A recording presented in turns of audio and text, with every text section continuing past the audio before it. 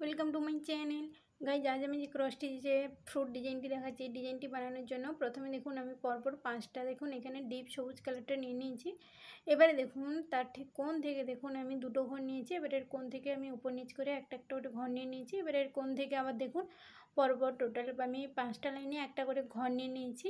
এবারে দেখুন এর কোন থেকে আমি উপর নিচ করে একটা একটা করে দুটো ঘর নিয়ে নিয়েছি, তার ঠিক কোন থেকে আবার একই রকমভাবে উপর নিচ করে একটা একটা ঘর নিয়ে নিয়েছি।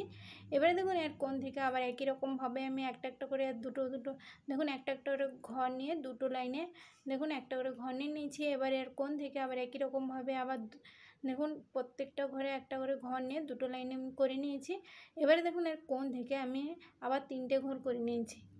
এবারে দেখুন একই রকমভাবে আমি ডান সাইডে আমি যেমনভাবে করেছি, একই রকমভাবে বাম সাইড থেকে আপনারা পুরো করে নেবেন। এবারে দেখুন করার পরে এই যে পাঁচটা ঘর আমি করেছি ডিপ সবুজটা, তার ঠিক দেখুন মাঝে আমি এইখান থেকে এইখান পর্যন্ত পরপর পাঁচটা ঘর গ্যাপ দিয়ে। তারপরে আমি এইখানে দেখুন মেরুন কালারটা দিয়েছি।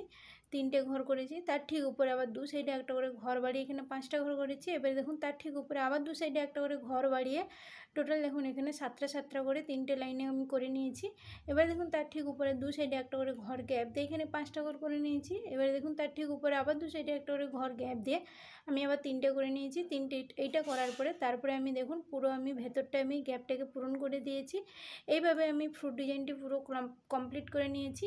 আর আপনারা কিন্তু প্রথমে এইটা বানানোর পরে তারপরে ডান সাইড থেকে এতটা বানানোর পরে তারপরে বাম সাইডে একদম একই রকমভাবে ডান সাইডে যেমনভাবে বানানো হয়েছে, বাম সাইডেও একদম একই রকমভাবে বানিয়ে নেবেন। বানানোর পরে তারপরে এইটা ভেতরের ফলটা ডিজাইনটি দেবেন।